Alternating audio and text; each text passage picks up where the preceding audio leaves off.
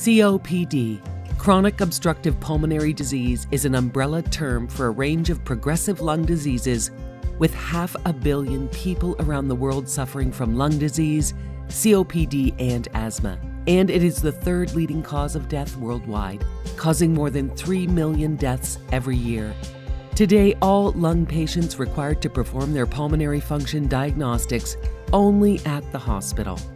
Technopulm is changing the paradigm of pulmonary function testing by shifting the point of care from hospitals to the community and performing all required pulmonary function tests from pulmonologist clinics, primary care family physician's office, and from chronic patients' residence.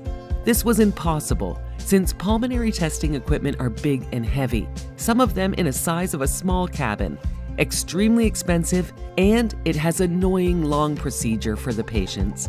The STS product created by Technopulm, an Israeli startup, allows pulmonary function tests to be performed in clinics everywhere, as well as from patients' residences by using revolutionary handheld device.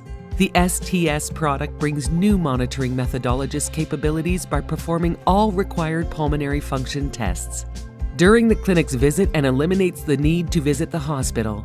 To be used for home nursing and home hospitalization.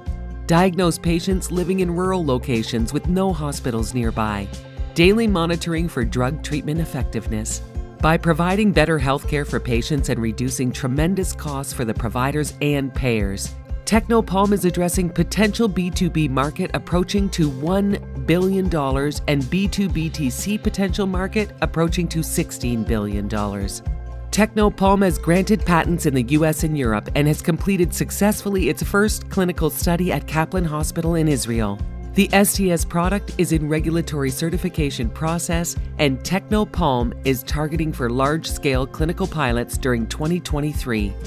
Technopulm vision is to bring respiratory disease diagnostics and monitoring to the community, to the patient's home and to the clinics, thereby eliminating the need of sending the patients to the hospital for performing these tests.